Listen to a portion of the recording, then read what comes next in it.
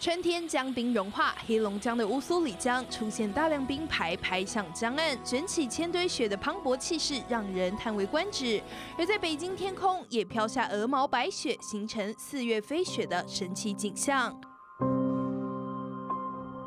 万里长城一片银白，有不少民众冒雪爬长城，就是为了一睹奇观。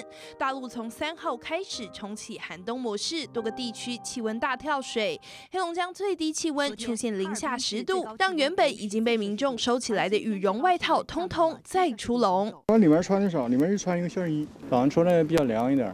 到那锻炼的时候还光膀子呢。在新疆则出现大风降温天气，十级大风肆虐一个晚上，造成多位民众受困连祸高速公路，直到早上风力才慢慢降到八级。这个道路两边呢都是戈壁滩和一些裸露的沙石，所以现在七八级的这种风力呢，依然能够把这些这个沙土和这些小石子儿给掀到路面上。我现在给大家做直播的时候，其实我一边说话的时候，一边嘴巴里面还是能感觉到。